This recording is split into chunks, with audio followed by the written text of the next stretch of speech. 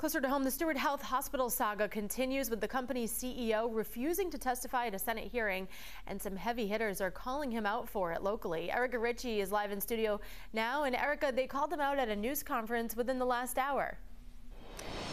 Senator Ed Markey not mincing words. Senator Elizabeth Warren, she got fiery too. Here's a little bit of what they had to say to a man they say used hospitals that he owns as his personal piggy bank.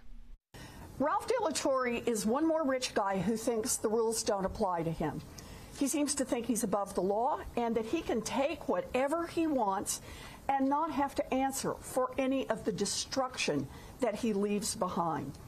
You should be held in contempt if you fail to appear. You should be fired from your position as CEO. You should lose your medical degree. Dr. Ralph de la Torre coming under fire for refusing to comply with a subpoena to testify at a Senate hearing next week about the bankrupt Steward Health.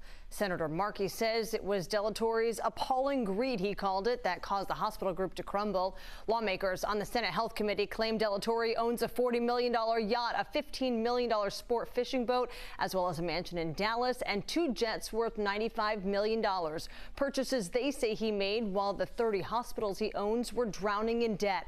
Seven of those hospitals are in Massachusetts, where Governor Maura Healey is also condemning de la Torre for dodging the hot seat next week, saying he should be held accountable. Now, all but two of the Massachusetts hospitals have been bought, including St. Anne's in Fall River and Morton Hospital in Taunton, both scooped up by Lifespan in bankruptcy proceedings. de la Torre asked to postpone the Senate hearing until after those proceedings were concluded. That's when he says he'll testify, but lawmakers said nope.